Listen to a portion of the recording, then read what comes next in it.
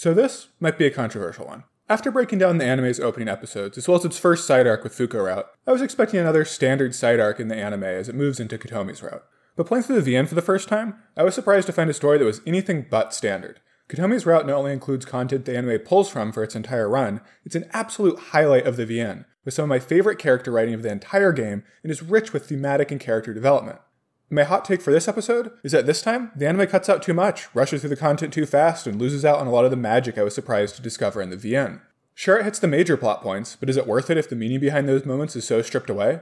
I'll attempt to answer that question, but first let's quickly go over how, even in the VN, Kotomi route is weird.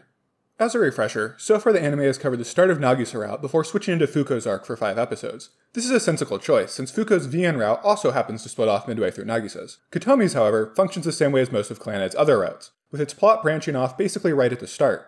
And unlike with Nagisa, the player literally never sees Kotomi unless you select the choice that leads Okazuki down her route, namely visiting the school library. While Nagisa, Tomoya, and the Fujibayashis all make side or at least cameo appearances in other routes, Kotomi gets nary a mention outside her route, a distinction shared only by Yukine and Kappei. Even her inclusion in the bonus baseball route is unique to the anime, with her role being played by Fuko in the VN. But by contrast, her route in the VN is the only one where the main cast actually hangs out and forms a friend group. As we'll see in my next video, Nagisa's VN route has only herself, Okazuki, and Sunohara involved in the reformation of the drama club, while the anime already has, and will continue to, include the other girls in the day-to-day shenanigans. This addition is arguably one of the anime's best changes, adding life to originally sparsely populated routes, and it feels like an archaeological discovery to realize its origin was actually from Kotomi's VN route. So that covers Kotomi Route's contributions to the wider anime. But why do they also claim that her route was such a gem in the VN, and why do I think the anime, for the first time, fails to reach up to the same standards? Well, to cover that, we'll have to dive into the comparison, and go all the way back to the start. As mentioned, following Fuko's route in the VN, we can only begin Kotomi's by returning back to the title screen. We then play through a collection of incidents discussed in Common Route, meeting Nagisa at the foot of the hill, talking to her about the drama club, and crucially choosing to skip class where Okazuki first runs into Kotomi. This first meeting also occurs all the way back in episode 2 of the anime, back when it was also working its way through all the initial Common Route introductions. But before we return to that meeting, let's cover how the anime is planning to move on from the conclusion of Fuko Route. Episode 10, the first following Fuko Route, appropriately begins with a montage of our cast traveling to school, returning us back to the wider status quo after the Fuko focus of the last few episodes. We then get a moment I've repeatedly criticized the anime for cutting Nagisa waiting for Okazuki at the foot of the hill so they can walk to school together. As mentioned in my first video, this is a regular occurrence early on in Nagisa and Okazuki's relationship in the VN, and helps set up their unique dynamic and build their relationship before diving into plot shenanigans.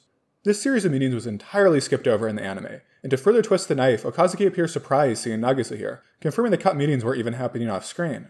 At least it's a nice reference, but instead of using it to build their relationship, we see the anime setting up for Kotomi's reintroduction, with Okazuki wondering if he should ask her as they discuss their lack of drama club signups. This conversation is then cut short by Kyo attempting to murder our main character via motorbike, followed by Okazuki failing to elicit her sympathies by pretending to be seriously injured. This sequence of events also occurs in the VN, but in a totally different place, and Nagisa's inclusion in the anime causes the incident to instead turn to Kyo teasing Nagisa for her concern, and for the familiar tone Okazuki uses with her.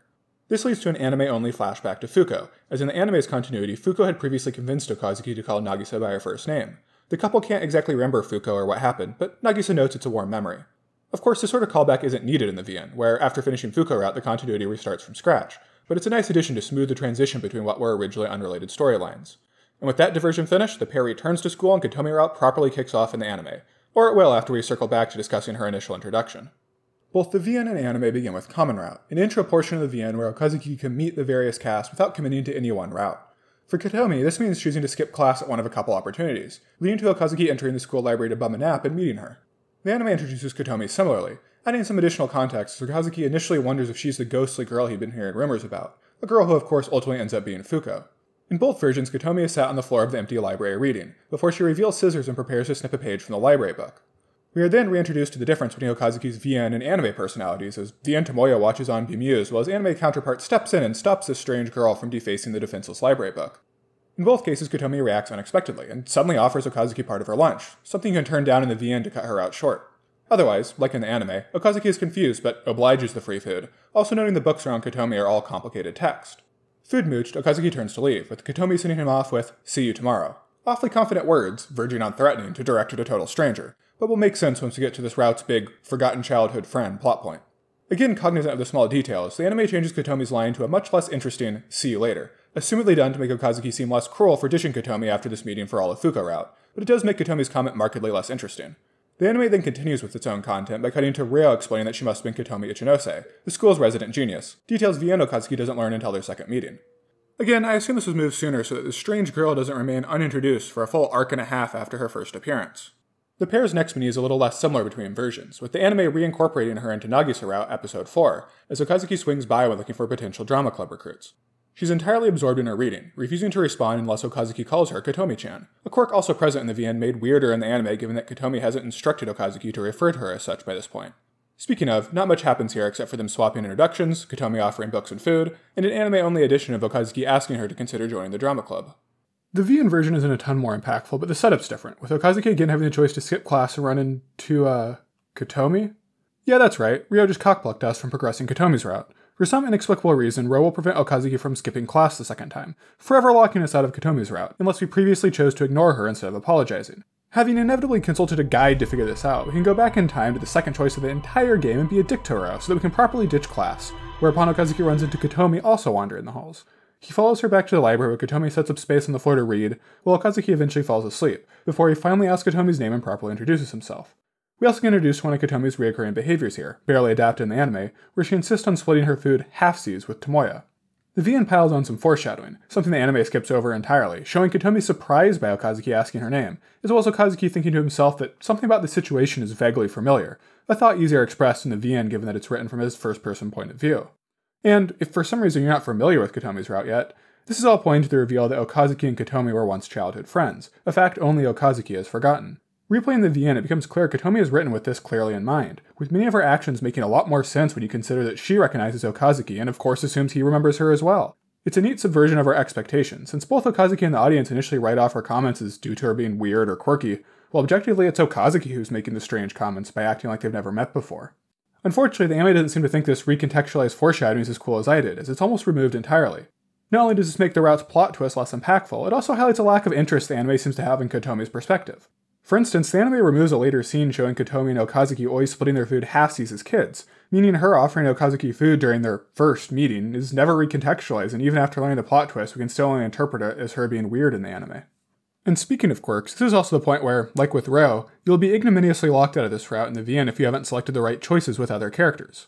In this case, if you didn't at least meet up with Nagisa once, Okazuki will suddenly realize he's developed commitment issues and will flake out on Kotomi as well. The plot reason for this requirement will soon be clear, as the existence of the drama club ends up weaving its way back into Kotomi's route. But like with Ryo's interruption, this represents another bad ending that you can hit without any foreshadowing and only the vaguest hints as to where you actually messed up. But that first conversation about the drama club is actually all that's required in the VN. At this point, Okazuki can either be actively helping Nagisa restore the drama club or just vibing on his own after their first conversation. The former scenario is similar to the anime setup, but it also presents one of the VN's cruelest choices. At the end of Okazuki's next meeting with Kotomi, you're forced to choose who to ditch and who to keep eating lunch with. In effect, forcing Okazuki to tell one of the socially awkward, friendless girls he doesn't want to hang out with them anymore. Ditching Nagisa is arguably the nicer option, since you still visit her after school to help with the drama club, and she soon rejoins the narrative of Kotomi's route. But ditching Kotomi here seems incredibly cruel in retrospect, with her one long lost childhood friend finally reappearing only to once again walk out of her life. In fact, plenty of Clannad's characters have admittedly depressing fates during the VN timelines where Okazuki doesn't interact with them. A scenario the anime fortunately avoids as Okazuki is able to weave through the narrative and fix everyone's problems in turn. This change does give us a cute added Kotomi meeting in the middle of Fuko route, where Kazuki brings Fuko to the library to invite Kotomi to her sister's wedding, and the two bond over starfish facts. A particularly unique interaction since, to my knowledge, the two characters never have an opportunity to meet in the VN.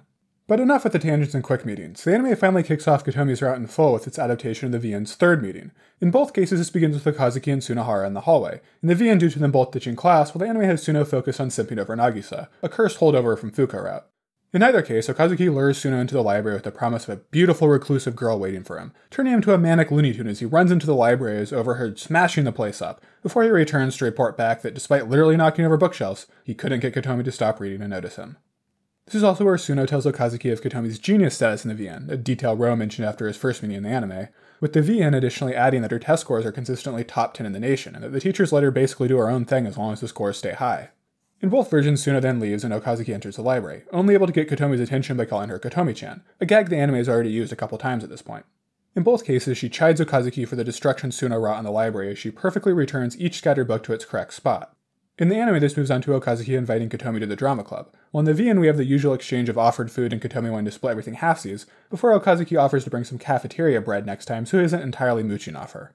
The VN continues to foreshadow Okazuki and Kotomi's existing relationship, with Okazuki again noting a strange feeling of both familiarity and guilt as Kotomi first speaks the route's arc words, seemingly randomly quoting book lines at Tomoya. The anime keeps these lines and has Kotomi quote them at Okazuki at a much later meeting, but ultimately cuts most of the context that gives them meaning. I didn't even realize it until doing this analysis, but Kotomi bringing up these lines here seems to be her testing Okazuki, seeing if he truly has forgotten her without tipping him off to her intentions. An action substantiates her comments in the route's climax that she only slowly recognized Okazuki had forgotten her and became afraid of him remembering. As mentioned, this is also where the player has to decide to either continue Nagisa's route or switch to Kotomi's if you continued helping the drama club. By the way, that's the end of this meeting in the VN, while in the anime we immediately skip to Okazuki bringing Kotomi to the drama club room. This transition is actually the result of the anime switching the order of the next two major encounters. Okazuki meeting Kotomi in a bookshop outside school, and Kotomi's introduction to the drama club, which in the VN happens the following week. In the VN series of events, Okazuki again runs into Kotomi after leaving school, seeing her enter a bookstore. This time, Okazuki does stop her from cutting a page out of a book in both versions, with the VN adding an explanation by Kotomi that she regularly goes on multi bookstore shopping sprees, buying everything from science to cookbooks. The anime cuts out this detail, but also skips over the next couple much more plot relevant discussions. This isn't necessarily clear when first playing through the route, but VN Kotomi's disposition towards Okazuki seems to take a significant turn here, as Okazuki predicates some of his anti book vandalism advice by stating he's just a stranger, a comment that causes Kotomi visible confusion. Then, as they leave for home, Kotomi is suspiciously insistent about not having Okazuki accompany her to her house, a position that in retrospect is a reaction to Okazuki's prior comment. This meeting seems to be where VN Kotomi finally understands that Okazuki has forgotten her, and we can now see her begin to act more outwardly normal from here on out as she seems to go along with Okazuki's notion this is their first time meeting. Her intentionally preventing Okazuki from seeing her house throughout the rest of the route, even later on when they're dating and walking home most of the way holding hands, again gives credence to her later comment saying that she wasn't sure if she wanted him to remember, correctly identifying that Okazuki returning to her house could trigger his forgotten childhood memories. As you should now come to expect, all this juicy characterization and cool retroactive context is removed in the anime's rendition. The VN then follows this scene up with a much less impactful cut sequence, where as they depart, Kotomi continues to tell Okazuki, see you tomorrow, despite the next day being a holiday, a promise that surprisingly fulfilled as while aimlessly bumming around, Okazuki finds himself at school and runs into Kotomi. They enter the library, with Kotomi explaining she was previously given a key as an honorary library assistant due to her frequent visits. You have the option to have Okazuki read alongside her, but he gives up and falls asleep regardless, getting vague childhood flashbacks to Kotomi's house on fire that the anime does eventually adapt, but again lessens the foreshadowing value of by pushing it back until far later in the route. Upon returning to school the next day, VN Okazuki begins to execute on a plan to catch back up with the anime, grabbing Nagisa before class and telling her to go to the drama club after school. He then eats lunch with Kotomi, who brought enough food for two despite Okazuki fulfilling his promise of bringing cafeteria bread, with Kotomi continuing to insist they split both her food and the bread equally. Now cut up with the anime, Okazuki brings Kotomi to the drama club room after school, where Nagisa soon enters. In both versions, we get a god tier Nagisa moment where socially awkward Kotomi can only introduce herself by listing out each of her characteristics and favorite things one by one, a pattern Nagisa immediately identifies and responds in turn with zero hesitation. Okazuki cuts this back and forth short, before he has to forcefully remind Nagisa she should be attempting to recruit Kotomi, a motivation the VN briefly uses here as well. In both versions, Okazuki can also reference back to Nagisa's recruitment speech he helped her practice, which is a cool way to help bridge the plotlines. Nagisa also catches Okazuki up on the drama club's progress in the VN, which differs depending on when you ditched her for Kotomi. This can range from Nagisa having to explain the entire context of the drama club being shut down and her attempting to revive it, to just telling Okazuki about the club posters being taken down. Even in the prior case, where Okazuki has only talked with Nagisa twice, he makes a rare VN nice guy move and is about to confront the student council before Nagisa stops him, saying she needs more practice anyways before the club can be reinstated. Okazuki notices a confidence in her voice that wasn't there before and relents to leave the matter to her. As a side note, Nagisa's characterization here is a VN only gym, and it's cool to see the two of them interacting in this route as just friends without the romantic undercurrent.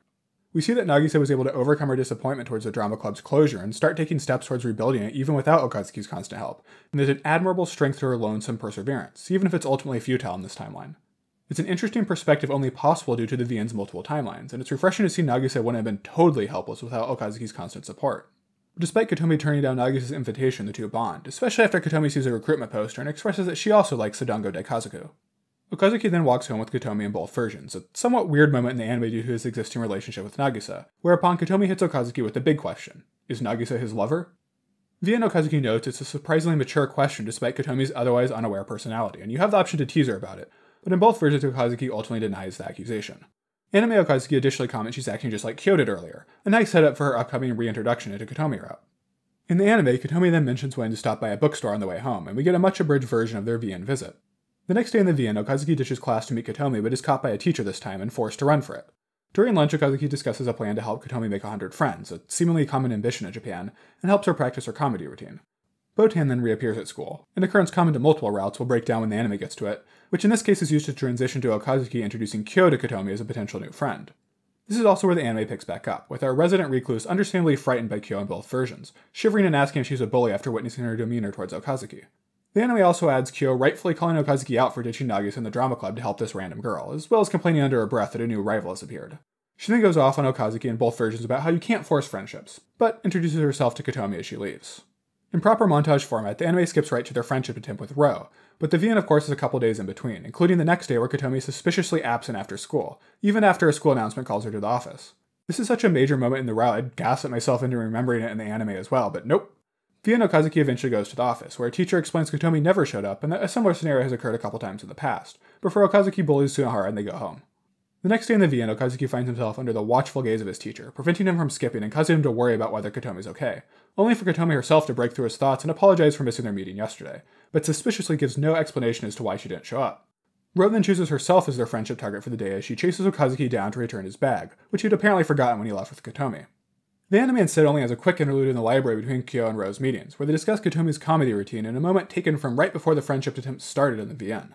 Ryo's scene also has some interesting changes. In both cases, her and Kotomi stand silently, neither making a move. The anime uses some nice visual cues to show this is due to Ryo's disappointment seeing Okazuki so close with yet another girl, and she gains some positive character points by walling in her disappointment for just a beat before proactively reaching out to Kotomi by offering to tell her fortune. This sad jealousy is a dynamic present in the VN as well, but it doesn't seem to be the case here, with the VN depicting the meeting as much more of a straightforward shy-off, with neither socially awkward girl knowing what to say to a complete stranger. Like in the anime, Ryo kicks things off with some fortune-telling after a VN exclusive fumbling of the cards, and unfortunately predicts Kotomi will make no friends tomorrow. Despite this seemingly confirming Kotomi's suspicion that she, like her sister, is a bully, she does agree to be Kotomi's friend. One down, 97 more to go. Kotomi and Okazuki's next discussion in both versions involves coming up with a standardized introduction script she can use. In the VN, this explicitly takes place on the next day, while in the anime, Okazuki mentions creating a script they can use on their next break, which makes me wonder if all these meetings are supposed to take place in a single day in the anime.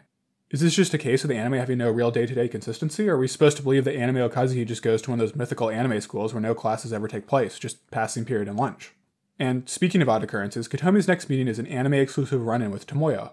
She's once again wearing a bear suit, like at the Founders Festival, but this time there's not really a good excuse as to why.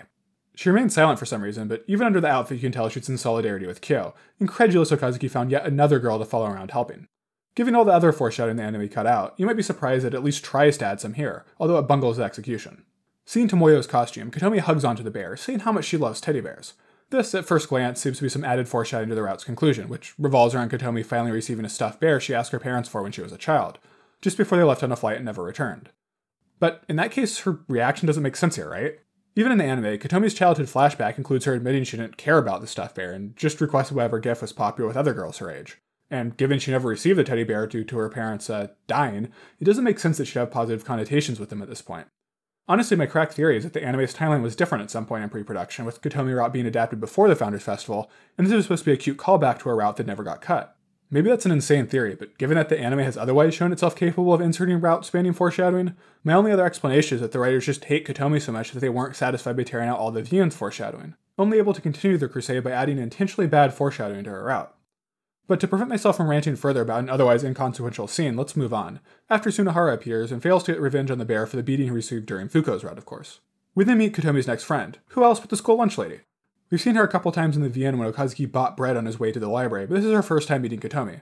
Nothing if not consistent, Kotomi hits the lunch lady with her friend script, and they have some pleasant banter, before she mentions that Kotomi's parents are famous scholars, but Kotomi only gives vague answers when Okazuki asks her about it later. We then get another moment in the VN showing Kotomi isn't as socially unaware as she initially appears, as she expresses concern for Okazuki constantly skipping class to meet her, and they decide to only share lunch on Fridays. We then get a VN only friend introduction as Sunohara runs into Kotomi and Okazuki walking back from lunch, completely confused to see the pair together, something that isn't helped when Kotomi immediately pulls her practice friend script on him. VN Okazuki then continues his unrelenting bullying, convincing Sunohara that he's dreaming and leading to him slamming his head into the wall so hard he knocks himself out. And this is the friendship we have an entire route celebrating? But in both versions, the pair is next set upon by a vicious predator, as Kyo appears and in the VN does that thing where sexual assault is somehow funny when perpetrated by someone of the same sex. A moment the anime fortunately tones down to some much less extreme skinship, before roping Okazuki into taking her, Kotomi, and Ryo on a fun date. We of course smash cut to the drama club room, much to Kyo's dismay, with her even suggesting in the VN that Okazuki should have taken them to that theme park with the giant mouse mascot. Not yet being acquainted with Nagisa and the VN, Ryo wonders if they should even be in the clubroom, before Nagisa opens the door and immediately 180s, convinced she entered the wrong clubroom. Okazuki admonishes her for needing some backbone as a club president, while in the anime, Kyo explicitly whispers to her sister that she set this up as a chance for her to get closer to Okazuki.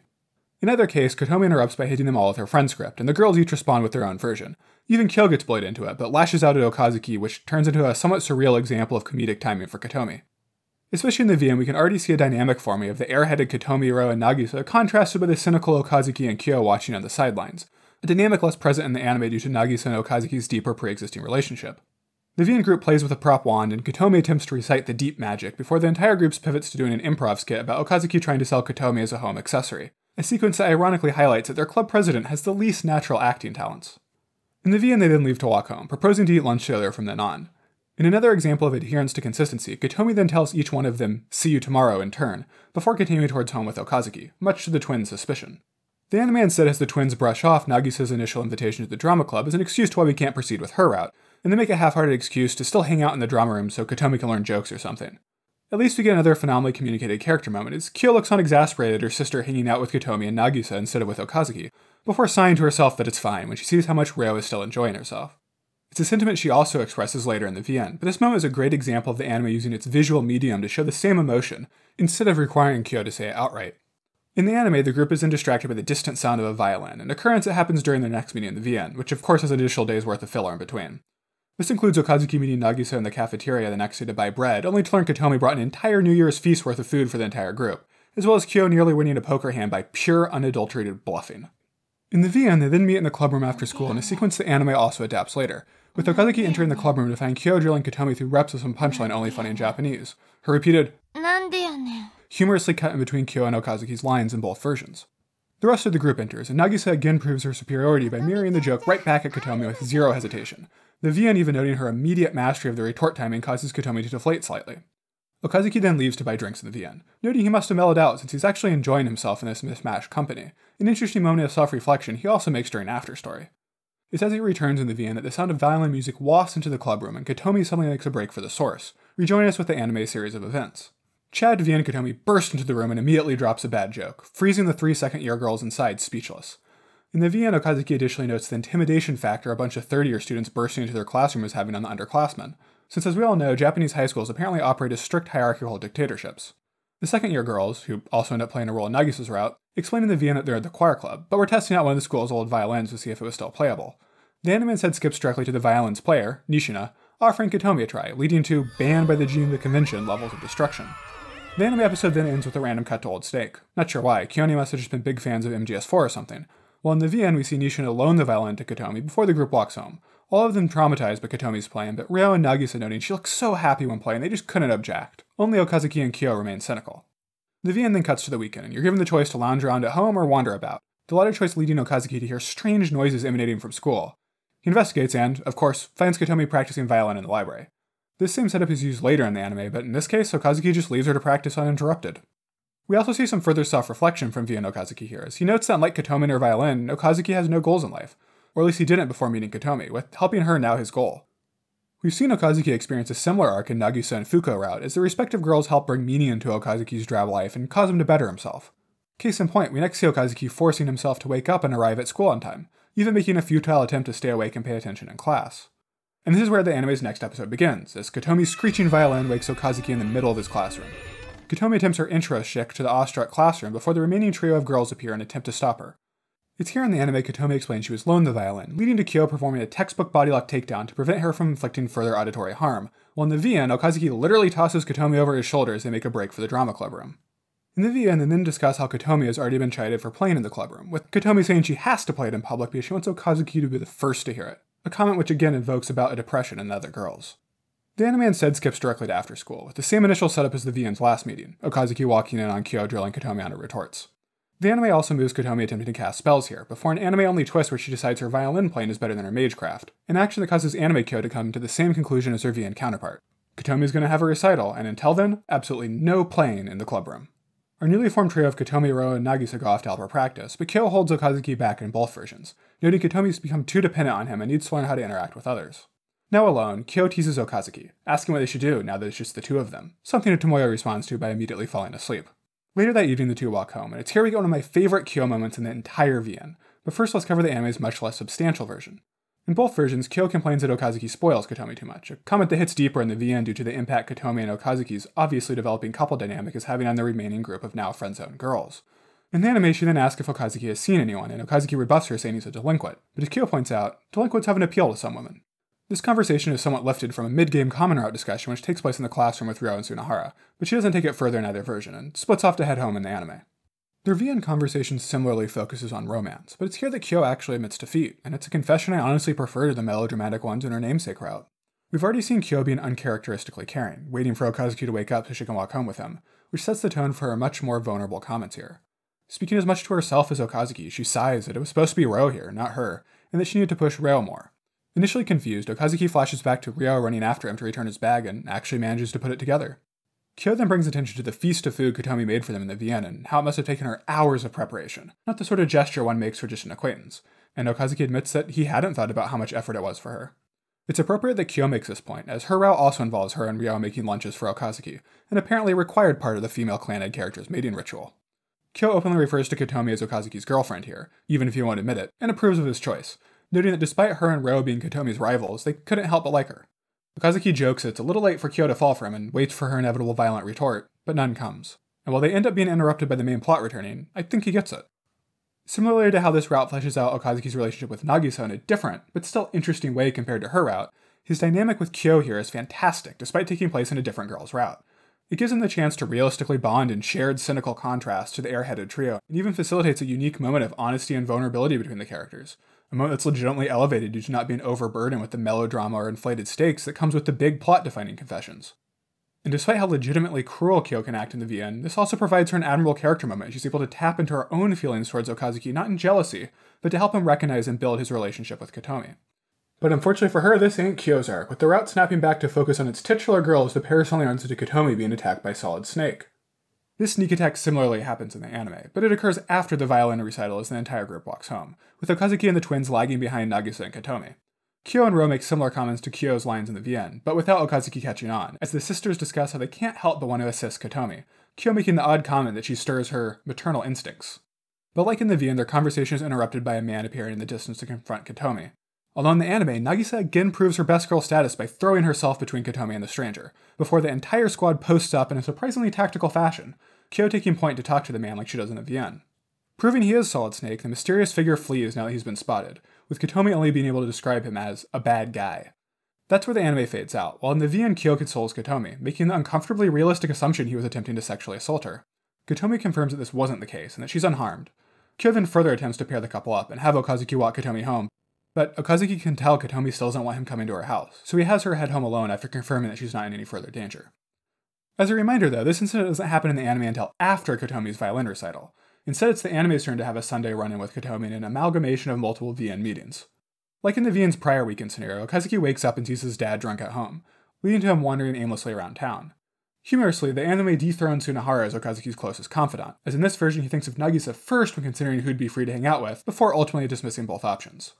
The anime then reuses the VN's earlier scenario, and has Okazuki hear strange sounds emanating from the school finding Kotomi practicing in the library. Unlike the VN where he appreciates Kotomi's dedication and wordlessly leaves, Anime Okazuki enters and we get a mishmash of content from the VN's earlier library visits, as well as from Okazuki and Kotomi's library date, something that of course occurs a good bit later in the VN. We first catch up on some earlier VN content, with Kotomi explaining how she was given a library key due to being an honorary library assistant, and revealing she brought enough food for two, despite it being a day off. We then pivot to the library date content, as instead of a normal meal, Kotomi reveals a home-baked apple pie to split, which Anime Okazuki downright goes to town on. Undeterred by his picking out, it's only now Kotomi quotes the Rabbit, Deer, You book lines, accompanied by some breathtaking sakuga. As I've previously mentioned, KyoAni's animation quality isn't quite at its peak with Clannad's first season, but it can still go incredibly hard when needed. There's a similar moment in Fukurai I forgot to mention in my last video, and both injections of maximum animation seem strategically deployed to amplify the mood of these scenes. It's also worth noting that these foreshadowing book lines are coming much later than in the VN, not that it matters a huge amount since we're still a ways off from its payoff. It's not a clear delineation, but the VN version of the route plays up the foreshadowing mystery early on the route before we get distracted with Drama Club shenanigans. This allows the mystery to build in the background until Kotomi's mysterious past is finally revealed in the climax. Compare this to the anime, which instead gets the Drama Club busy work out of the way first, before slamming through the foreshadowing and payoff basically back to back. A hit to its potency, but likely an efficiency measure due to the tighter time constraints. But, at least in this case, the reshuffling does remove the nuance we talked about earlier of Kotomi using this quote to test if Okazuki still remembered her, with the anime instead seemingly focused on just checking off another memorable VN moment. But either way, Okazuki clearly doesn't think too much about these random quotes, as similarly to in their VN date, Kotomi reads to Okazuki after they eat and he drifts to sleep. As he sleeps, he comes to learn that Kotomi's apple pie was apparently laced as he experiences a psychedelic dream before waking up in the evening. This library date is the emotional high point in the VN, just before things come inevitably crashing down, but it plays out like just another day in the anime, with the two of them walking home and Kotomi insisting she's happy Okazuki came, even if all he did was sleep. It's now we move into the recital itself in both versions. The only timeline difference so far is that the VN had the bad man appear between the recital proposal and execution, which the anime switched out for the Sunday date. The VN again highlights the positive impact Kotomi is having on Okazuki's previously dysfunctional life, as he wakes up early to, like in the anime, find Nagisa's dango covered announcement poster. Anime Okazuki makes the appropriate connection that Nagisa could learn a thing or two from Kyo in terms of BSing approvals from the student council, while we get a couple details about the prior day's events in the VN. We learn Ryo and Nagisa return to the clubroom the prior day to find Kyo also asleep next to Okazuki, the two looking so peaceful the pair left them alone. We also learn Kotomi again ran off when a school announcement asked her to come to the office, a recurring moment I'm still surprised never made it into the anime's narrative. In both versions, we then learn Kyo has abused her position as class president to both blackmail students into attending the recital, as well as starting a side hustle selling earplugs to said performance. She also dupes Sunohara into attending in the anime with the promise of a beautiful girl waiting for him, a duty Okazuki handles in the VN. We then get our scheduled reminder the rest of the cast still exist in the anime with way too many forest cameos.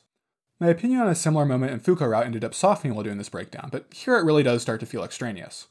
But Akio and Sanae aren't even the craziest cameos here, as we get an out of nowhere moment from Misae Route as Tomoyo, who Okazuki apparently invited in the anime, approaches Misae and asks for advice based on her time as the legendary student council president. Backstory the anime thought we needed to know now because.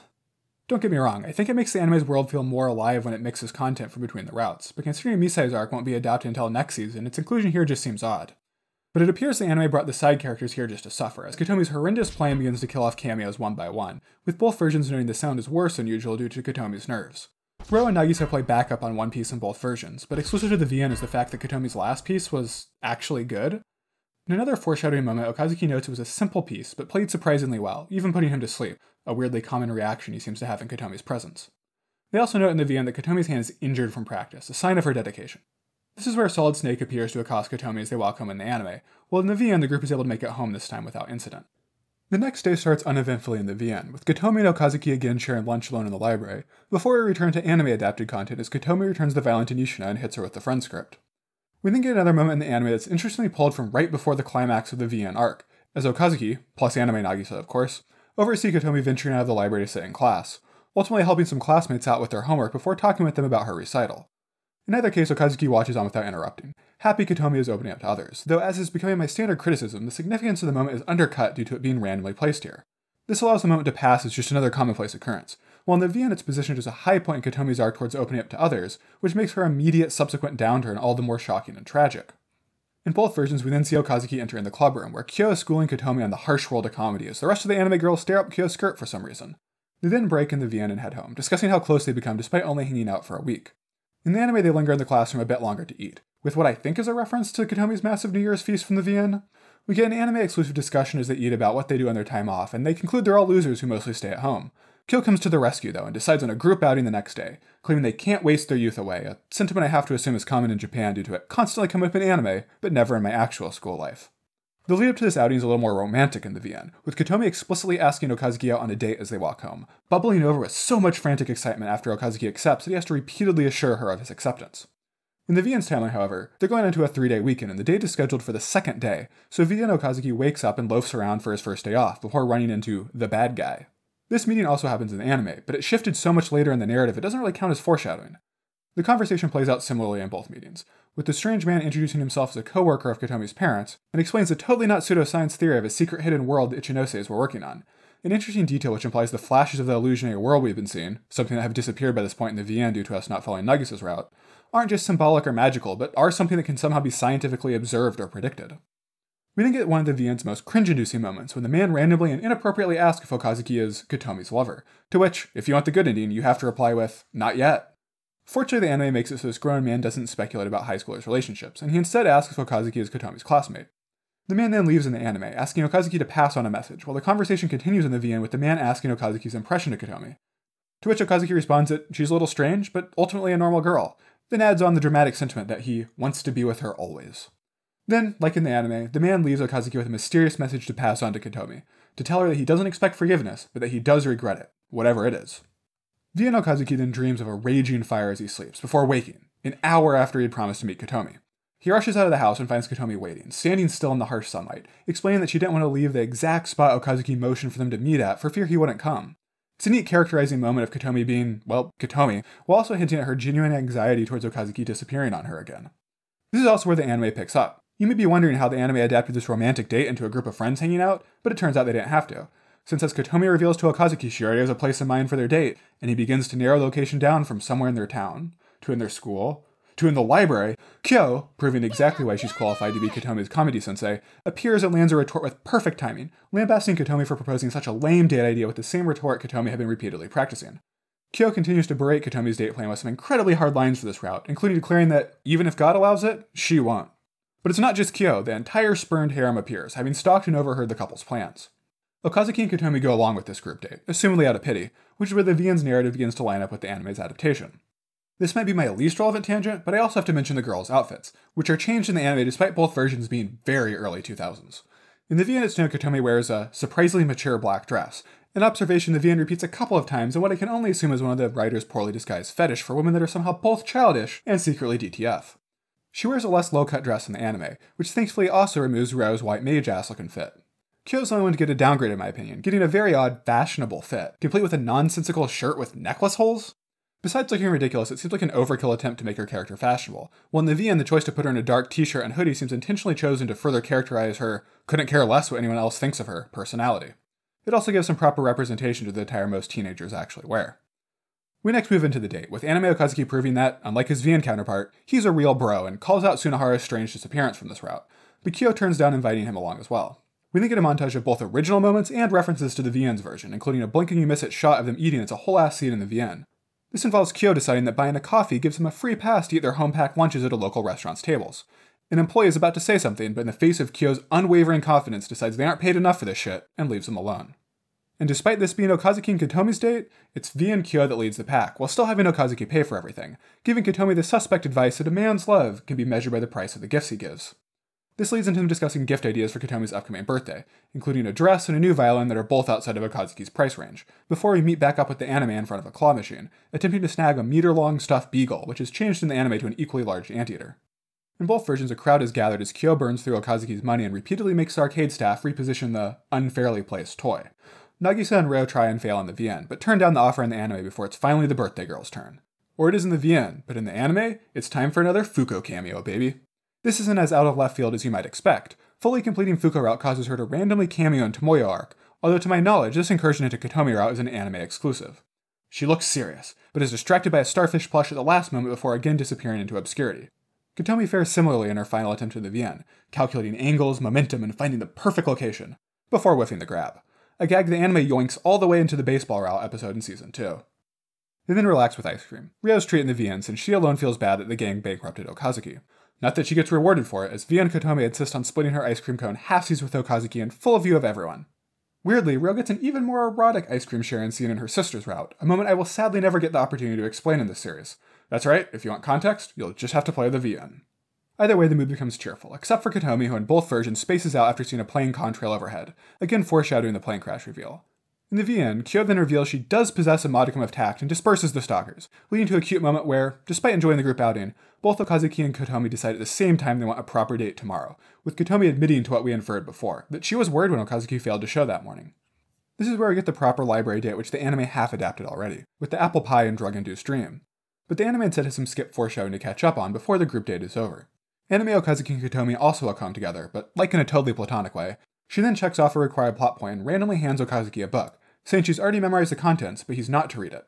This, as we later learn, is the story of the rabbit deer you line she's been quoting us from, and is a story both she and Okazuki read as kids. This gesture seems to indicate Kotomi's continuing uncertainty about if she wants Okazuki to remember her or not. She gives him the book, something that would likely remind him if he read it, but tells him not to open it, thus putting the decision on him. The bad guy then makes an anime exclusive return, but it goes nowhere as Okazuki and Kotomi successfully pull a solid snake of their own, and he leaves. In the VN, we instead have Okazuki and Kotomi's proper date to cover. Tomoya shows up well in advance this time, and finally showing some self awareness, physically cringes remembering him telling the bad guy he's not Kotomi's lover right now, but would like to be in the future. As he's doing this, Kotomi herself appears, asking if he's experiencing a medical emergency, before you have the choice to properly ask Kotomi out or not, but Okazuki ultimately chickens out either way. We then see it's not just Kotomi, but the VN writers who have a love of repetition, as Okazuki and Kotomi have a beat for beat repeat of their conversation about their date location, minus Kyo's well timed retort this go round. They sneak into the school via an open window and make their way to the library, where Kotomi reveals she baked an apple pie for them. A gesture makes a little more sense than in the anime, given they'd actually planned to meet this time. You also have the choice to tell Kotomi about what the bad man said, that he regrets it, but doing so will result in the bad ending, where Kotomi permanently leaves school. Not telling the bad man you hope to be Kotomi's lover also leads to the same bad ending, although I'm less sure what the plot justification is in that case. Otherwise, the date plays out just as their ostensibly less romantic encounter did in the anime, with Kotomi reading to Okazuki until he falls asleep and has the spiked apple pie dream. After he wakes, the VN hits the same beats the anime just covered. Kotomi gives Okazuki the book and tells him not to read it, and thanks Okazuki for his intervention, much more explicitly spelling out that she enjoys life more now that she's spending time with others, instead of hiding out alone in the library. The next day is another VN fluff day before both versions get to the incident, and involves Okazuki again getting up like a model student before being teased by Kyo about the date. Like in the anime, he watches Kotomi make friends in class, although it's clearly more strategically positioned in the VN to fall after the date and Kotomi's comment about trying to open up more. Like with Fuko the VN is much more intentionally building up the positivity before suddenly breaking it down. In this case, highlighting how Okazuki and Kyo's friendship has helped Kotomi make active steps to escape her trauma and open up to others, right before the incident is about to send it all crashing down. After that, we get some more group comedy practice in the clubroom, with the girls offering to join the drama club, something the anime smartly chooses to hold off on until later to use as a transition back into Nagisa route, but VN Nagisa turns them down, wanting to wait. Our only hint that status quo is about to be tragically disrupted is Ryo fortune telling tomorrow is going to be a good day, with only Kyo familiar enough with her sister's unreliable accuracy to recognize this is a bad sign. Kotomi and Okazuki then walk home, hand in hand, blissfully unaware of the upcoming incident. Anime Okazuki finally dreams about the childhood fire as he sleeps, which again seems cutting it too close for foreshadowing given their backstory is going to be revealed in this very same episode. We also get a random, totally inconspicuous shot of Ryo on the bus in the anime, before in both versions we transition to Kotomi glomping Okazuki on his way to school. This was Kyo's suggestion, of course, more clearly fitting into VN Kyo's trend of teasing the newly formed couple to get together, which in retrospect seems to be her way of ignoring her own heartbreak. Either way, Nagisa runs up and frantically asks if Ryo was taking the bus this morning, explaining there was a bad accident nearby. Kyo is visibly shaken, not helped in the VN as two male students pass by gossiping about the incident and loudly sharing clearly over exaggerated rumors. In the VN, Ryo then anticlimactically appears, explaining she was on a different bus, while in the anime they actually go down to the site of the crash where they run into Ryo who gives a similar explanation. We also get a cameo in the anime of the car owner who yelled at Yoshino, who's now arguing with the bus driver, assumably having been responsible for the crash. All now seems well until Kotomi suddenly collapses, sobbing and promising to no one in particular it shall be good. Kyo takes charge and gets her to the infirmary, and we cut to the end of the day where they learn Kotomi left early but can't get any more information due to it being a personal matter. In the anime, Kyo and Okazuki immediately go to the teacher's office to ask for details, while in the VN, Okazuki goes alone only after Kotomi fails to appear the next day. They ask for her address, and the teacher gives it after cautioning them not to pressure Kotomi. We then get another example of adults getting weirdly nosy in teenagers' love life, as in the VN, the teacher asks if Okazuki is going out with Kotomi. Regardless of his answer, she gives some VN only backstory about how the school let Kotomi do her own thing after she was bullied by classmates, then explains that after the bus incident, Kotomi accepted an offer from an overseas program to finish high school abroad. The anime brings up these details in a second conversation after their first visit to Kotomi's house, but for some reason lessens the impact by making the details vague. This removes the sting this information carries in the VN, which reveals her decision has to be finalized within a week, and that, if accepted, she'd leave soon after and likely not return. In effect, sacrificing her newly formed connections and closing herself off again without sparing the gang even a word of explanation. This adds to the time pressure, and the teacher further highlights the tragedy of the situation in the VN as she explains Kotomi had just turned the offer down two days prior, lining up with her comment to Okazuki about how much happier she was now hanging out with everyone. That done, VN Okazuki runs into Kyo entering the office as he leaves. Kyo's in surprisingly high spirits, mentioning she's working on something in secret with Nagisa and Ryo. Her outlook, however, stays somber in the anime, with her commenting that maybe they weren't as close friends with Kotomi as they thought. In either case, Okazuki departs for Kotomi's address, accompanied by the gang in the anime, while in the VN he blunders around only finding Kotomi's house by nightfall, a painful reminder of the pre-Google Maps days. In the anime, they try the door but get no response, and give up before Okazuki returns alone, following a hunch he also gets in the VN that he always entered through the garden. And no, Okazuki isn't infected with the virus from the Cowboy Bebop movie. The butterfly leading Okazuki on at the edges of his vision is a cool anime only visual used to depict the hunches and vague feelings he mentions getting in the VN. When anime Okazuki returns, he finds the bad man peering in, and we get an adaptation of their earlier conversation in the VN. The man similarly talks about the research he was involved with and expresses his regret, but at least Okazuki doesn't have to tell him he'd like to be her lover in the future in this version. That aside, both versions of Okazuki then sneak through the back garden and enter via an unlocked glass slider, with Okazuki getting flashbacks to the house in its better days as his feet somehow know exactly where to take him. He finds Kotomi alone on the floor of the upstairs study, newspapers and book clippings surrounding her, clippings that mention the late Ichinoses. It all comes back to Okazuki and we get the twist. He knew her all along from when they were kids. Kotomi remembered this the whole time, and all Okazuki can ask is why she never said anything. In both versions, Kotomi explains that at first she was happy thinking the boy from her childhood came back for her, and only later realized he'd forgotten her. This statement, as previously mentioned, puts a ton of her behavior from the start of the route into context in the VN, a little less so in the anime. She continues on, saying that despite him forgetting, she was happy Okazuki ended up befriending her anyways, and became unsure if she wanted him to remember or to just keep things as they were. Both versions then jump into a flashback from Kotomi's point of view, a much more noticeable switch in the VN given that the entire game is almost exclusively written from Okazuki's point of view. The anime speedruns the important plot points, but it's honestly one of the most finely crafted sequences in the entire VN, making phenomenal use of young Kotomi's childish point of view, as well as fantastically tone setting background sound effects, something I don't think the VN utilizes anywhere else. We begin with Kotomi's parents explaining the meaning of her name, with Kotomi's father knowing that just because they're scientists, they shouldn't scoff at miracles or deny the beauty of the world. Unfortunately, he then loses all credibility by revealing himself as a string theorist, telling Kotomi that the universe is made up of harps. But the anime again cuts out the part that actually informs us of Kotomi's character, as in the VN, Kotomi asks who's playing the harps, to which he responds God, probably, who's always kindly watching over us, a sentiment we'll soon see is deeply tied to Kotomi's guilt. In both versions, Kotomi's mom then steps in, giving the simpler explanation that it's a nice name spelled with three pretty hiragana, thus explaining why Kotomi introduces herself that way. Precious baby Okazuki then appears in the yard where she's practicing violin, with Kotomi's mom getting them to introduce themselves to each other.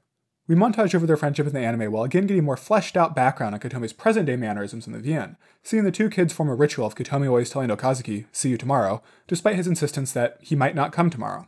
Kotomi then continues to explain in the VN how even back then she was ostracized by their classmates due to her intelligence, and how even as a kid she'd come to love Okazuki. In both versions, we then cut to Kotomi asking her father for a stuffed bear for her birthday, but reveals to us she didn't really care about the bear and just knew it was popular among girls her age. But what she was really looking forward to was celebrating with her parents in Okazuki. But it wasn't to be, as her parents suddenly needed to fly out on an important research conference. They're apologetic as they leave, telling her they'll ship her a bear from the airport, but Kotomi only wanted them to stay, and yells that she hates them as they leave. The VN does explain her mom left food in the fridge and that they had a housekeeper who was supposed to arrive but got sick, but still, it seems pretty irresponsible of them to leave someone of Kotomi's age home alone for so long. There's a knock on the door the following day, but it's not her parents suddenly returning, it's a strange man. He explains to baby Kotomi that her parents' plane crashed and took them and their important research to the bottom of the sea, but there might be another copy in their study. VN Kotomi has a heartbreaking line here where she repeatedly asks the man where her parents are, saying she needs to apologize to them for lying and saying that she hated them. But the man unfortunately sucks at communicating with kids, and results in Kotomi slamming the door on him and labeling him as a bad man looking to take her parents' research away. This is where the VN pulls out its sudden sound design props, with an incessant knocking ringing out as the narrative describes Kotomi cowering inside the house, before we hear a cutting ringing of the phone, reporters looking to get a scoop about her parents' death creating an incessant cacophony of noise surrounding the already terrified Kotomi before she eventually snips the phone lines with her mother's scissors and makes the ringing stop. Night comes, but neither her parents nor Okazuki appear for her birthday. She eats the food her mother left out, including an apple pie, with the VN noting she still saves half of everything for Tomoya. We get an additional, heartbreakingly relatable moment in the VN as young Kotomi suddenly realizes that what remains in the refrigerator is the last of her mother's home cooked food that she'll ever eat, and the loss finally hits her. Something about these moments just really hit me, Kind of like how a place further than the universe used email notifications to make me bawl. It's just such a mundane and relatable realization of loss you could imagine experiencing it in real life. But in both versions, Kotomi then looks out into the dark, empty yard and pleads to God, another moment stripped of its context in the anime due to her dad not introducing Kami-sama's existence during their earlier conversation. In the VN, this is where Kotomi realizes she is fully, totally alone. No one is kindly looking over her, and she spends the next night huddled in a blanket alone at the foot of the stairs, looking out for the bad guy, who by now fully deserves that label for not calling the Japanese equivalent of CPS or something now that he knows Kotomi is likely all alone. Finally, Kotomi can't take it anymore, and we see her running from room to room looking for her parents, with the VN again elevating the moment with sound, a background of patterned footsteps and doors creaking open highlighting Kotomi's franticness as well as her aloneness in the big house. She finally reaches her father's study and sees not her parents, but a single envelope sitting on his desk. Understanding this to be her parents' important research, her thoughts again swirl, wondering how something so small could be so important, more important than her parents' life, according to the bad man. But how could something so flimsy replace her parents? Convinced this must be why her parents disappeared, she burns the envelope and the flashback ends. And as we return to the present, Kotomi weakly explains that even now, she's not sure why she did it. Kotomi then explains she gathered clippings from any articles or books that mention her parents to atone for her destruction of their research, with VN expanding that this was her way to connect with her parents after their death, Finding new information or books by them was almost like they were talking to her again, like they weren't gone forever. She further explains in the VN that this is why she started studying so diligently, to understand more and more of her parents' scientific writing, as well as why she cut pages from books. Her parents were so prominent she couldn't afford to purchase every text that mentioned them. But, as the anime also explains, this eventually turned into a form of penance. In burning the envelope, Kotomi removed her parents' important research from the world, research no one else could recreate, so she studies in an attempt to eventually rediscover it and gain God's forgiveness, a guilt that's definitely been better built up to in the VN's expanded flashback. Anime Okazuki then dips. While in the VN, he notes that nothing he says can give her the finality she craves, so simply tells her to come to school, and when Kotomi bemoans she can't take it anymore, can't take being connected to people and risk loss again, he Uno reverse cards her and simply leaves with a see you tomorrow. The next day, Kotomi's again missing, with the anime adopting the second half of Okazuki's conversation with Kotomi's teacher here, about how Kotomi decided to go overseas after witnessing Ryo's near accident. Anime Okazuki then proves he's no harem protagonist, he's loyal, and we see him telling Nagisa about his return memories with Kotomi. He says he's going to ditch class and visit again, with best girl anime Nagisa volunteering to go as well, but he turns her down and says she needs to stay in class. In the VN, Okazuki instead mopes through the entire day, the drama club now empty during lunch and after school, before he returns to Kotomi's house alone. There's still no response at the doorbell, but this time the back door is locked as well, Kotomi telling him to keep away now that she's finally gotten their secret off her chest. Anime Okazuki starts to clean up the now overgrown backyard, but VN Okazuki is about to leave defeated, when Nagisa appears in both versions, giving the excuse she skipped study hall in the anime. VN Nagisa explains she also asked the teacher for Kotomi's address, and that the drama club's on hold due to a secret she's working on with Kyo and Ryo. Okazuki asks for a hint and easily figures out it's something for Kotomi's birthday in both versions. But in a 180 of my previous complaints, the anime cutting down and increasing the pace of this back and forth actually helps sell the two's tighter relationship in this version. We then get another small reminder of the different timelines, as Nagisa mentions in the VN that the Founders Festival is coming up this weekend, something that obviously happened during Fuko's route in the anime. And despite being locked into another girl's route, VN Okazuki acknowledges Nagisa's best girl qualities as he notes how Nagisa willingly gave up her drama club dreams just to help Kotomi. In both versions, Nagisa then insists only Okazuki can help Kotomi now, with the anime obviously cutting her follow up explanation that Kotomi really likes him. It's a comment that obviously makes more sense in the VN's version of events, and VN Okazuki even notices an honesty to Nagisa's words, but also a hint of sadness. Just like Kyo, Nagisa is willing to put her friend's best interest over her own broken heart, without even a trace of jealousy. Okazuki then explains he's going to skip school, with him returning the next day in the VN to start repairing the yard, while anime begins then and there, raking the yard and weeding, eventually finding the Ichinose shed in both versions to pilfer tools from.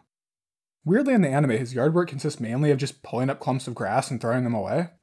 I'm no yard work expert, but his actions in the VN seem much more sensical, as he explicitly mentions not having the time to sod the yard and instead attempts to trim the grass with the rusted tools he finds in the shed. We then get some cool ludonarrative harmony in the VN, as the player is given multiple choices to just say screw it, this isn't going to do anything, showing Okazuki's determination as time and again we have to push through the doubt and actively choose to keep going. But in both versions, Okazuki soon realizes he's out of his depth, and leaves to read up on gardening and buy some proper tools, and while shopping runs into the trio of girls. Okazuki internally mentions in the VN he's now emptied out his bank account, money he had initially saved up in an attempt to move out from his father's house. He similarly explains this to Kyo in the anime, weirdly adding it's from his part-time job, something that is absolutely not extant in either version, unless Okazuki actually does get paid for helping his female classmates out with their unresolved issues, something which would help explain his over-the-top helpfulness in the anime. Either way, the girls explain they got permission to give Kotomi the violin from school, and were on their way to get it tuned up when a scooter nearly roadkilled them and the violin ended up being dropped and damaged so badly the shop wouldn't even take it. Okazuki insists they try again, finally convincing the shop owner in the VN, while the anime makes a small but neat change to have the owner again refuse, forcing the gang to take a bus to the town over to try another shop. Either way, Okazuki helps calm Kyo down as the owner explains it'd be cheaper just to buy a new one, before accepting the repair by explaining it'll take months and there's no guarantee it'll sound the same. They leave, and proving I'm getting old, the anime then introduces my new choice for Clannad's best girl, random sleeping on the bus home salary woman. Side story win? Okazuki returns to his yard work, with the anime again making the girls seem more empathetic by having them come along as well, Kyo yells out to Kotomi and they offer to help, but Okazuki turns him down, saying he'll go home soon after. They leave, but Anime Nagisa continues to display how far their relationship has progressed by returning with the sister, saying she knew Okazuki lied. Okazuki gives in and acquiesces to having them help out for a little while, sharing a cute glance with Nagisa as they work. Maybe I'm gullible, but these small interactions go so far in maintaining my investment in Nagisa and Okazuki's relationship, even as we sail through episode after episode without any progression. It just feels so real, and it's cool to see the two of them just vibing together doing unrelated stuff while still clearly being into each other, with no standard anime will they won't they bullshit or need for their relationship to substantially progress with each episode. But poor VN Okazuki has only his thoughts to keep him company, considering if Kotomi's trauma can truly be healed and if what he's doing is worth it, before he falls asleep, alone and under the stars. The next morning, Okazuki is back at it, with the VN providing more substantial details of Okazuki's refurbishment process that covers him getting additional tools and flowers delivered to Kotomi's house, instead of continuing to exclusively rip up grass for some reason. Speaking of, the girls continue to show their determination in the anime and offer to skip school as well. Okazuki turns them down, insisting that two class presidents can't go missing at the same time, but they do return after school in tracksuits, and we finally see them do something besides pulling grass as they trim the trees and repair the flower bed. We also have another instance of the VN utilizing its medium surprisingly adeptly in this route, selling the restoration process better than even the anime with all its fancy animation and voice acting. Instead, the VN slowly updates the background image of the yard, restoring it piece by piece as Okazuki completes each task until it begins to mirror the pristine version we saw in Kotomi's flashback. It's a fantastic way to use the limitations of the medium to the VN's benefit, and I honestly wonder if Kotomi's route was the last the staff implemented or something because no other route uses these techniques so masterfully. On the flip side, the anime's inclusion of the rest of the gang helping out is a definite plus. The VN clearly wants to focus on just Okazuki and his relationship to Kotomi, but given how it also tries to portray Kyo-Ryo and Nagisa as caring deeply about her, it's a little plot breaking that they just disappear once the violin repair business is concluded. As the girls go home in the anime, the true couple again proves their superiority as Nagisa stays behind, predicting Okazuki was going to work through the night, just for Okazuki to predict and proactively turn down her offer to stay and help him, claiming her dad would ban him from ever coming over again if he let her. Despite how cool it'd be to see the two of them team up, the next plot point has no place for Nagisa, so she finally leaves, and in both versions Okazuki continues through the night before finally finishing, noting that only Kotomi is missing now. He sits down at the garden table, and finally takes out the book Kotomi gave him, drifting off to sleep as he reads. There's another gem of a moment here in the V, and I can't help but mention is Okazuki initially thinks that this can't be the book he remembers reading with Kotomi as kids. That book was much larger, before realizing as he drifts off that no, just back then they were smaller. As Okazuki sleeps, the narrative pulls one of my favorite techniques, as we're now treated to the same events as in Kotomi's flashback, but now from baby Okazuki's perspective. We get some added background in the VN, explaining how Okazuki ended up lost in Kotomi's neighborhood after he and his friends were chased out of their normal hangout spot, and was drawn in by the ethereal sound of the violin into Kotomi's yard. The anime said as him chasing a butterfly he was trying to catch into their yard, fitting into the visual theme introduced prior when Okazuki was just beginning to recall his memories in the present. We replay his meeting with Kotomi, although the anime makes an interesting narrative choice to only show her parents' face in this version of the flashback, compared to Kotomi's memory where their faces always lingered off screen. It's not directly important to the plot, but Baby Okazuki makes such a retroactively obvious observation here in the V, and I'm surprised the anime removed it, as he notes his jealousy over Kotomi's doting mother, realizing that that sort of relationship was what he wanted most in the world. Okazuki's home life isn't really addressed in this route, so it's a cool if rare moment in the VN where one unrelated route provides added context onto another, since even in the more Okazuki focused segments of Nagisa Route and After Story, he never really addresses how the loss of his mother affected him. The anime then cuts to baby Okazuki and Kotomi playing together, with Kotomi trying to make Okazuki eat a fake meal made of clay while they play house together in the VN, something he gets out of by insisting that they split it. Halfsies. Thus, another of the rituals Kotomi has been oddly insistent on following has been explained, as well as a seemingly incomprehensible comment she made during the VN's first meeting when she clarified the food she offered Okazuki wasn't clay this time. But that's not it in the VN, as we next see her forcing Okazuki to engage in her hobby of reading advanced books, to the point that not just her, but also Okazuki had memorized the book he had just sat down to read in the present. This is why I previously theorized her quoting these words in the library was a test to see if Okazuki remembered her, since at least in the VN's continuity, we now know she knew he should recognize them. We then see them playing in the garden in both versions, with Kotomi flexing her flower identification knowledge. Her mom gently suggests they play outside, trying to get Kotomi to open up to the outside world, but she's still scared and insistent on staying within the yard. Even when announcing her birthday party in the VN, she's not at all put off that the only guests will be her parents and Okazuki. The VN follows this up with a moment that confirms even baby Kotomi is self aware, as when they repeat their VN only ritual of Okazuki saying he might not come tomorrow, Kotomi surprises him by answering differently, saying it's okay if he doesn't, as long as he makes it to her birthday. In both versions, Okazuki decides to bring friends as a gift for Kotomi's party, but he gets turned down by the boys in his class who are too embarrassed to go to a strange girl's party, with the VN also adding him talking to the girls in his class who only feign interest. Either way, he's dejected, too ashamed by his failure to go to Kotomi's birthday, noting in the VN that he did really like her. But the guilt builds, and at midnight he returns to hear sobbing as he finds Kotomi surrounded by flames, trying in vain to put out the blaze with cups of water before adults burst into the room and put out the fire, using a proper fire extinguisher in the VN or just their coats in the anime. The bad man then looks at the burnt paper, only saying that it wasn't it. Okazuki never saw Kotomi again after that, and he notes that over time he forgot the entire affair until it seemed like a dream. We flash to a vision of baby Kotomi at their first meeting in both versions, before Okazuki forces himself awake and finds Kotomi still standing there, now in the present. She asks if he's awake, her face happy now, and Okazuki comments he might still be dreaming. Kotomi explains she always remembered that boy, that she really, really liked him, and she's been waiting for him this entire time. Just to be dumped and relegated to a bit part in the anime's version, but let's ignore that for now. Okazuki then begins to recite the book lines back at Kotomi, but in the VN, he doesn't begin with the rabbit, deer, you line, he begins at the start of the passage, signaling to Kotomi that he really has remembered now, and they continue to recite the story at each other line by line. The full story chronicles the meeting of a man and a young time traveler, and they continue until they get to the rabbit, you line. And for your daily fun fact, these lines are from a real book, The Dandelion Girl by Robert F. Young, which I totally didn't just learn by looking at Wikipedia. Okazuki then offers Kotomi his hand. He's here to take her back, to where everyone's waiting. But something's not quite right, as Kotomi clutches her face in pain. Okazuki may have returned the garden to its prior state, but the clock still can't be turned back now. They're both older and her parents aren't coming back. Nothing can undo what's already been done, and mowing some grass isn't enough to fix a decade of trauma. Or at least it is in the VN, because for some inane reason, the anime actually rolls with this fake out happy ending. That's right, the VN created a gotcha moment to show how doing some lawn care and a couple kind gestures isn't enough to magically fix someone's trauma, and the anime was like, yeah, actually that does sound about right, let's go with that. Instead of being cured, VN Kotomi begins to let her brutally raw feelings out. That the world's wrong for taking her parents away from her. That even now she asks why she was the one left behind. Why couldn't she have gone with them, sunk alongside them into the depths of oblivion? Not able to stand her words any longer, Okazuki embraces her, saying that it's just too sad to hear, that he loves her, and that he'd be sad if she was gone. But surprisingly, not even the MC's confession is enough to console Kotomi, as she admits she too loves him, but she's now learned that her love alone can't stop someone from leaving her, from forcing her through the same pain her parents' death left her with. Okazuki can't deny that, but plays the goofy yet sincere angle of promising to be with her regardless, that even if he passes on, he'll stay beside her, wordlessly watching over her from beyond. I don't know if it's a Japanese thing or a dramatic romance story thing, but this line, of promising to be with someone forever, comes up a couple times in Clannad, most dramatically during After Story. And remember when I said my opinions on 2000s era fashion was going to be the least relevant tangent of this video? Well, I lied, because I want to briefly talk about how this line's always fascinated me. It's such an over the top sentiment, it's always said sincerely, even as both parties are fully aware of its impossibility. I mean, the oldest usage of this line I know of is from the Big J himself, and in that context, it is supposed to be taken literally. The reader is supposed to have faith he can actually deliver on this impossible promise. But for the rest of us, it's a statement somehow made more sincere because of its absurd impossibility. And because of that, it's a sentiment that, in my opinion, works as a mostly satisfying conclusion to Kotomi's trauma in this arc, to the existential loneliness and guilt we see her develop during her childhood. It might not be a perfect depiction of mental health, but it's a certainly more believable resolution than just having Kotomi jump from debilitating breakdown to totally fine just by having her garden fixed up. But regardless of how it was resolved, Kotomi now has the strength to venture carefully back outside, accepting that life is worth living despite the inevitability of loss.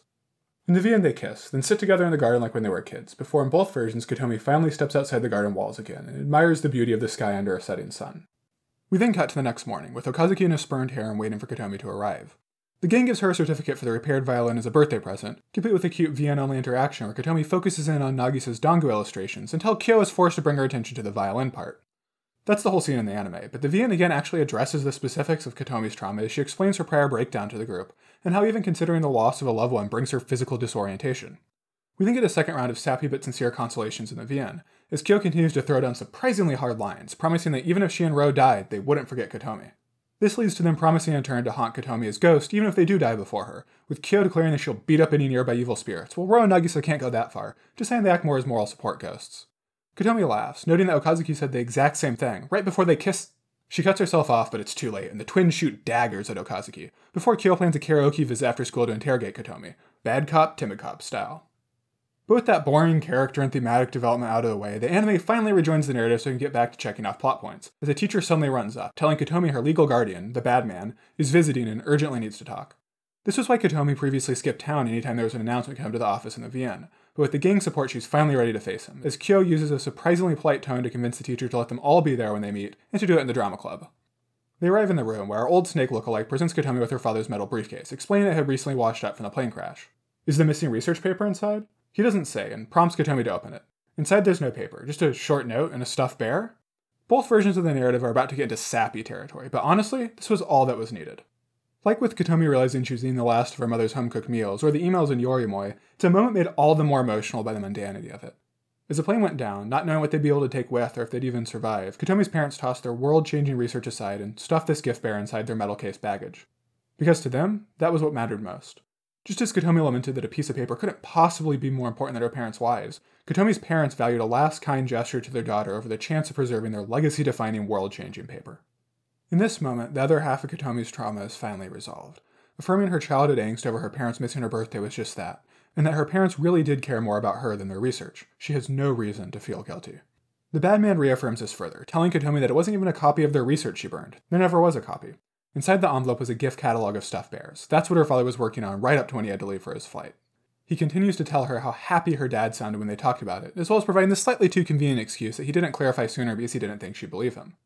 But the burned research isn't the only burden that's lifted off Kotomi's shoulders. A piece of her parents has finally returned. Her last words to them no longer have to be, I hate you.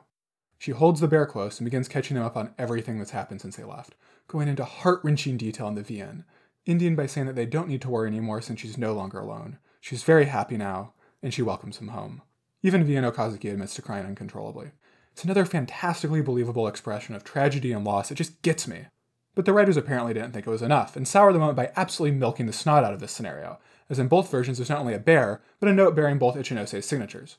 This note goes on for paragraphs, explaining the bear and wishing Kotomi the best, thus making the moment less mundanely believable by turning her parents' metaphorical last words into literal ones, as well as straining the credulity of the moment by depicting Kotomi's parents as such measured badasses they were able to write half an essay, in calmly written print, to their daughter while the plane was crashing, somehow knowing it was going to be fatal the entire time and their time wouldn't be better spent by grabbing their life jackets or something. It's just overwrought and turns an admittedly unrealistic, but still believably frantic gesture of a parent's love into a whole ordeal, something that isn't helped by the second half of the letter written in English. Ryo proves she's the second smartest as she begins to translate for the group before Kotomi reads it, explaining that it's a request for the recipient to get this suitcase to their daughter. We then get a montage of the suitcase being carried country to country, as despite writing half an essay, the Ichinoses apparently ran out of time to scribble down their home address. The bad man even notes he had an acquaintance test some of the dirt on the box and found it was from Africa, something he apparently had time to do despite this meeting being so urgent it had to take place today. We then get an overblown and unskippable montage in the of the parents' request read in different languages, copied in the anime by a montage of it traveling through an insane bevy of countries as the suitcase moves from France to Egypt to the Netherlands to the Aegeans for some reason, then to India, Tehran, back to Portugal, and then to the Arctic. It's a moment that further strains credulity and distracts from the relatable emotional moment between Kotomi and her late parents that the entire route had been building to, just to interject some cliche goodness of humanity message that comes out of nowhere. Making this even more hilarious is the fact that the English dub forgot, or couldn't afford, to record the lines being said in different languages. Not sure how that happened since they could have just reused the audio from the sub, and gives us nearly a minute of wordless scenery montage. We then hear the contents of the Ichinose's unbelievably long and detailed letter to Kotomi, as both versions montage over prior moments from the route, before we see a ball of light appear in the anime and cut to the bear now sitting in Kotomi's yard. She waits in her garden, now wearing a white dress in both versions, probably symbolic or something given her dark gray attire in the VN. In the VN, To the Same Heights plays, a background track I only just realized was used for the basis of the second season's OP. We then see Kyo and Okazaki arrive with Kotomi's repaired violin in the VN, explain the rest are out shopping and will arrive soon. While in the anime, the entire gang is there and mentions Sunohara, Yukine, and Nagisa's parents will also be arriving soon. But it's not just the anime inviting a ton of unrelated guests. As Kyo explains in both versions, she's blackmailed a bunch of students to attend, with the VN further explaining that they're the poor sod she drafted violin repair funds from. Kotomi smiles, saying it's okay. Her parents' house is a big yard symbolically showing she's now ready to let others into her life. Our final shot is of the bear and violin sitting on the garden chair, with the VN further zooming in on a note the gang left attached to the violin from all of them to Kotomi, saying it sounds better than before. Given the other content of this route, I don't think this is a crack theory, but it was only in my final playthrough that I realized this final image is probably supposed to be read as a metaphor for Kotomi herself. Just like with Kotomi, it wasn't going to be easy to fix the violin, and it might seem simpler to just move on and find another. But the cast couldn't just throw away and replace the broken instrument because of what it meant to them, and they pushed on until it was repaired, even though there was no guarantee that it could be fixed or that it'd be the same as before it was broken. But just like the final note on the violin says, it was worth it, and while Kotomi may not be the same person they initially met when she was still repressing her trauma, she ultimately came out the other side better off for it. And that's it for the route. Kotomi and Okazaki assumedly live happily ever after in the VN, while in the anime, the childhood friend she finally reunited with is about to ditch her and return to some much better adapted content in Nagisa route. But that's not quite it for this video, since as you may have guessed, I have some thoughts on this one. But before giving my overall impressions, I want to highlight one aspect of Kotomi's character that was impacted by the anime's cuts. That's right, it's time for another absurdly long tangent on a topic I'm absolutely unqualified to speak about. And by that, I mean it's not exactly controversial to suggest Kotomi is intended to be read as autistic, right? I mean, I wouldn't be the first person to suggest half of Clannad's cast be read as neurodivergent in some way. Ryo, Nagisa, and Fuko all struggle to hold normal conversations unless it's about their special interest of fortune-telling dangos and starfish respectively, Similarly, Nagisa, Fuko, and even Tomoyo have moments showing almost unbelievable levels of ignorance towards standard social cues or conventions. Now, I think these can all be valid readings, they're not particularly explicit about it, and could be equally read as just social awkwardness or immaturity. But with Kotomi, the characterization seems much more explicit. Now, to be clear, everything I'm about to bring up is in terms of common understanding and the traits media uses to signify autistic and neurodivergent individuals. I'm absolutely not making any claims about whether these traits are actually accurate or relatable to individuals' lived experience, just trying to interpret what the text is attempting to signify. To start, Kotomi is clearly cast into the antisocial genius role common to depictions of autistic individuals, being both abnormally talented and diligent when it comes to academics, but struggling to figure out social cues or behavior, instead preferring to be on her own or with only a few close friends. We also see her invest in maintaining outwardly pointless routines or patterns, such as her absolute insistence on splitting everything halfsies with Okazaki, or saying see you tomorrow to each person individually every single time they part, showing discomfort when these patterns are broken and even becoming nonverbal when particularly stressed or overstimulated. All these traits go beyond the standard anime-ishness many characters in Clannad and other shows display, and seem to be intentionally chosen to code her as autistic, or at least neurodivergent in some way. So what's my point going into all this? Well, whether these traits are an accurate depiction of autism or not, they're a significant and unique aspect of Kotomi's character in the VN that separates her from other characters in the game and the anime at large. But something interesting happens when the anime compresses the route's timeline. None of these aspects are necessarily changed, and most are even referenced, but there isn't enough time for them to come off as anything more than gags instead of as significant aspects of Kotomi's personality. There certainly isn't time in the anime to have Kotomi individually send off each member of the drama club every single day, so it can't communicate this is a specific ritual that's important to her. We don't get to see how seriously she takes her seemingly idiosyncratic act of splitting everything half-seas with Okazaki because the moments where she insists on splitting even non-splittable foods are gone. Even her social skills have been improved in the anime, as it had to increase the pace of conversations where Kotomi originally spent more time struggling to communicate with the wider cast. These aren't massive changes, and Kotomi's anime incarnation certainly isn't unrecognizable compared to the VN, but it's an example of how, especially for this route, our understanding of the underlying characters and themes of the route are impacted simply by how much the anime compresses the content. Similarly, while the VN's most memorable moments, the flashbacks, the date in the library, quoting from the Dandelion Girl, still exist in the anime, many end up stripped of their meaning because of how quickly the anime rushes through them.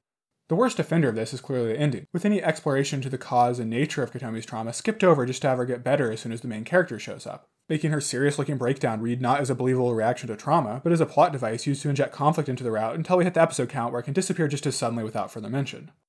And while none of these changes individually is a massive hit to the anime's quality, combined it leads to a narrative that checks off all the plot points and iconic moments from the VN, but the meaning, the character arcs, the themes, all the meaty parts that can make a good story great, end up left behind.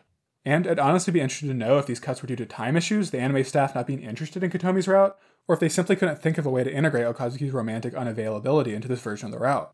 Because I have a lot of sympathy for the anime staff in this regard. Unlike Fuko's route, Kotomi's arc is squarely focused on Kotomi and Okazaki's budding relationship, with a narratively significant part of the ending involving Okazaki promising to stay with her forever, something I don't think anime Nagisa would let fly throughout After Story. Maybe there isn't a good way for the anime to dive deeper into Kotomi's trauma without Okazaki coming off like a total flake, given he's absolutely going to ditch her again, with Kotomi's anime fate actually matching the VN's bad ending with her traveling alone to America to study after graduation. Honestly, I don't have any great ideas for how the anime could have reconciled these two conflicting conclusions.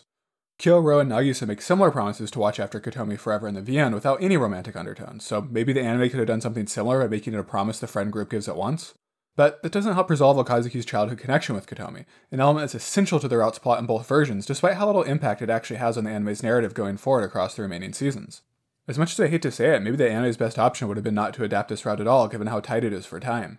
I mean, the anime doesn't give us even a single episode between Nagisa and Okazaki first moving in together and after story and Nagisa's pregnancy, despite novels worth of cut content incurred between those moments in the VN. If we're talking about the overall quality of the anime, mightn't have that been a better use of their limited episode count? On the other hand, Kotomi is a fantastic character, and she still has a ton of great moments that the anime does adapt, but there had to be a better way to incorporate her without using a whole fourth of the season's runtime if they didn't feel they had enough time or writing flexibility to properly flesh out her route.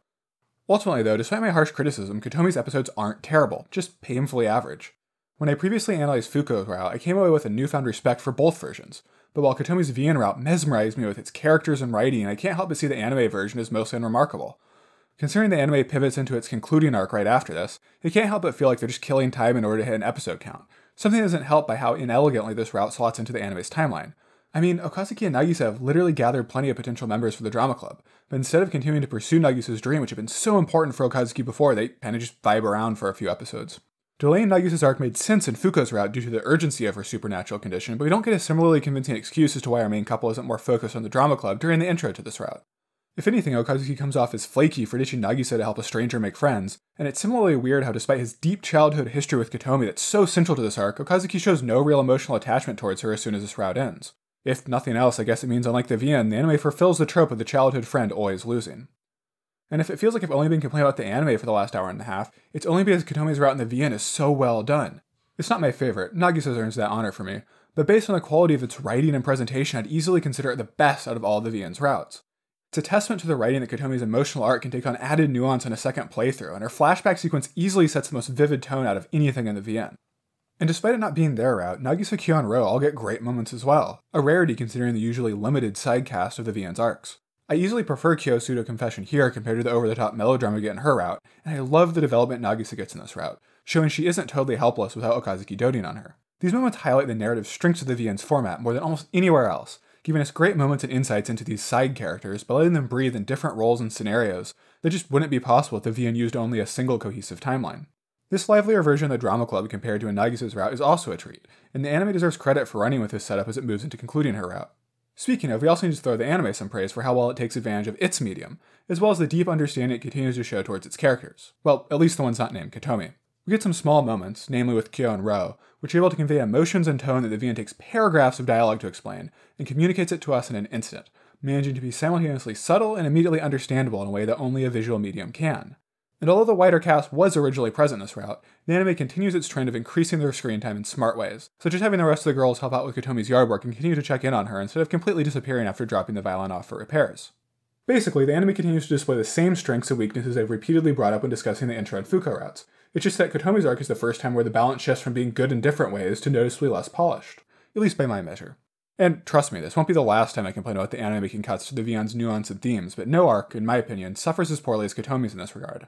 That's not to say the side routes adapted later aren't even more rushed, but at least they have the decency to only take up two or three episodes. The placement of this route also doesn't do any favors, with Okazaki and Nagisa's relationship, the driving plotline for the entire season and the arc we were initially sold on, now having been on hold for two entire unrelated arcs.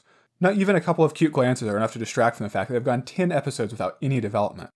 But that's all for Kotomi Route, one of Clannad's most unique characters and in my opinion one of the VN's biggest hidden gems. Fortunately, I'll have much more positive things to say about the anime during my next episode, as Nagisa's plotline finally defrosts from its cryosleep. And also to look forward to next time is a breakdown of the anime's unique concoction as we dive into a mini arc not present in the VN, made from a mix of characters and plotlines from across Clannad's remaining unadapted routes, as well as some of the anime's added special sauce. So start counting down the years until my next release to discover just how long these videos can stretch as I have to discuss all of Clannad's nine remaining episodes and we get agonizingly close to wrapping up the arc of our very own theater club president.